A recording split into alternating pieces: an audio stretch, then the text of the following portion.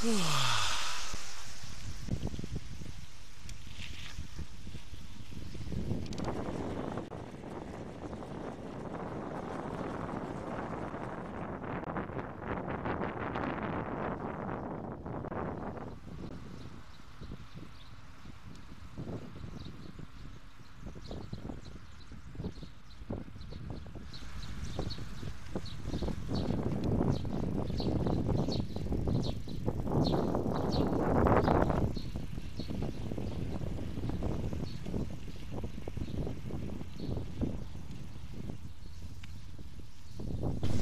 To je ten náš poklad, který mě vždy osvěží po projížďce.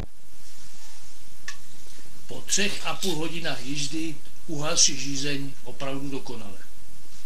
Je to poklad.